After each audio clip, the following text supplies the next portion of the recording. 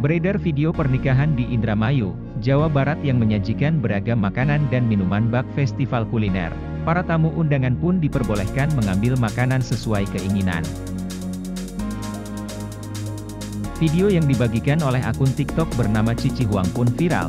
Dalam video terlihat, beragam makanan dan minuman yang disajikan kepada para tamu.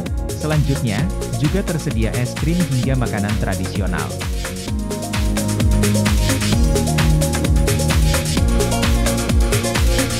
Hingga Selasa, 21 Desember 2021, malam, video yang diunggah Cici Huang sudah dilihat lebih dari 2,5 juta pengguna, kemudian, disukai lebih dari 280 ribu pengguna.